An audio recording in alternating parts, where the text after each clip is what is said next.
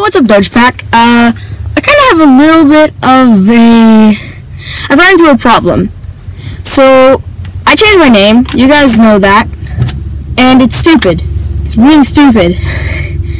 So, I'm just wondering if, like, when I'm able to change it back, do you guys want me to change it into image of a Doge, or just keep it as Doge Dogeman Plays? So I think I'll change it around February, so you have till February to vote. Until then, it's time to vote. See you guys in the next video. Bye!